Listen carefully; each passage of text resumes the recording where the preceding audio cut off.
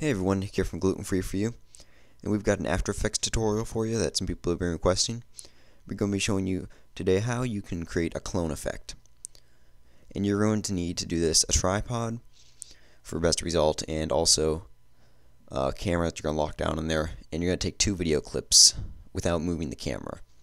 So here's what we've got. We've got uh, these two clips.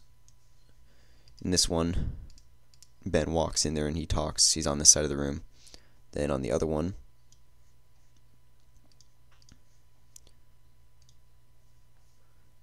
oops, try this clip.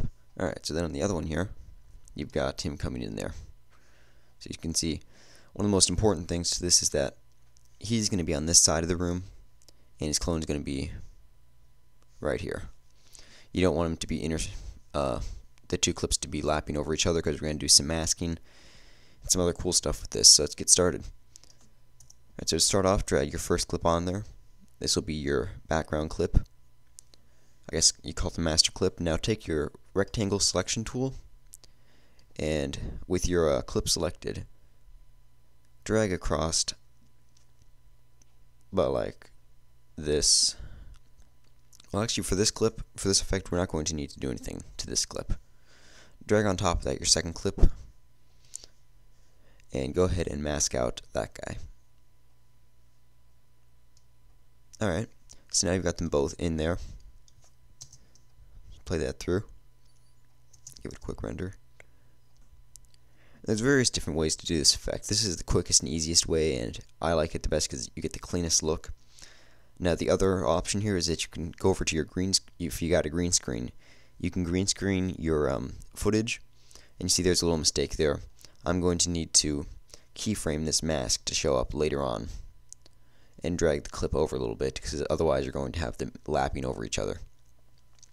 So that's one thing that you need to be careful of doing when you're uh, doing this. So let's go ahead and take this clip on top and make sure that it doesn't that clip doesn't start until he's all the way over there. Yes, that looks pretty good. And so, the, like I was saying, the second way to do this is that with the green screen, you can green screen your guy, and you can key them out with some a plugin like Keylight or do it in Final Cut Pro or something. Gives you some real clean one. But um, you're always gonna have a little bit of fuzz running around for the most part if you're doing green screen, and so it doesn't look quite as clean as just masking out the two separate clips with the tripod does. And you can keep doing this as many times as you want to for ver- for more people. Just drop on another clip, mask them out, and drag the clip over to make sure they don't overlap.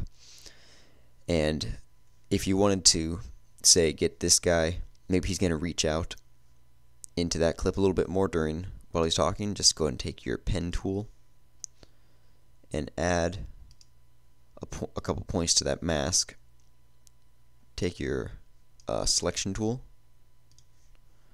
and you can go ahead and move these points around individually to move that over if you're going to uh, if you have maybe a chunky shape or something or you could mask it out around him if you've got more clones going on so anyway that's some of the basics of clone of uh, doing clone effects in After Effects but now my uh, favorite way to do this it requires no software at all and just a camera and just takes one shot. Just call up your um, your evil twin and ask him if he wants to be in your next video.